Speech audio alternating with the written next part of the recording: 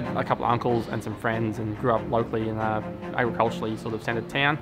And I just started doing work experience one day and I got fell in love with the job. My name is Lachlan Corridan. I'm a service technician with Oislers and Sea Lake. Just a great experience to be here, so yeah, I was excited. I've got two guys in the dealer group and a customer, so it's good to get him up here. He wrote my reference. The winner of the Ag and Turf Technician of the Year for Australia is Lachlan Corridan from Poisler Sea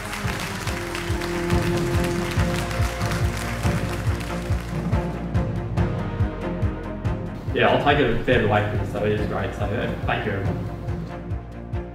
Yeah, didn't know what to expect, and to yeah be awarded tonight is just yeah great. My favourite part of working with John Deere is yeah the customers. Um, they're great. They hit coming back every day. Their support is incredible. Um, it's a great product, but yeah, support by great customers, and that's what we're doing.